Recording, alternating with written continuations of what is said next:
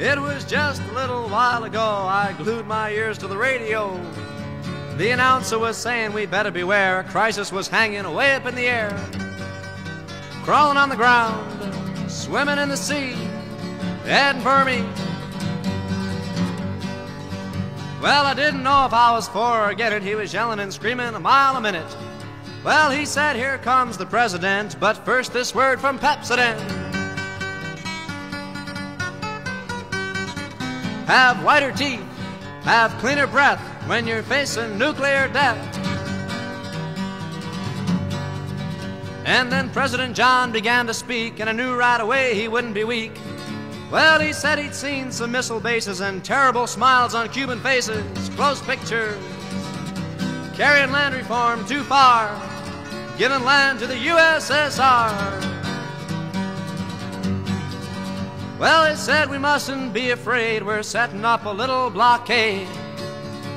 Put our ships along the Cuban shores, and if the Russian bear yells and roars, we'll let him have it.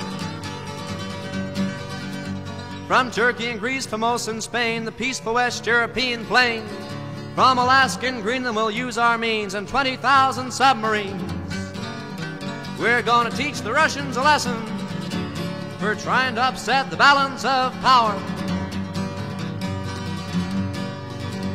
Now, most Americans stood behind the president and his military minds.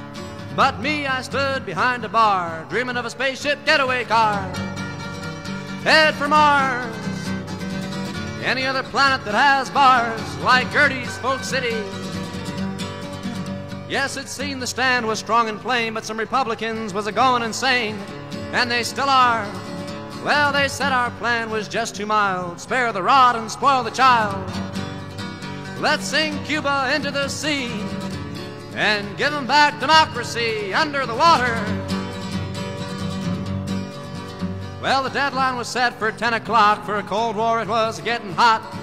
Well, the Russians tried, the Russians failed. Homeward bound, those missiles sailed.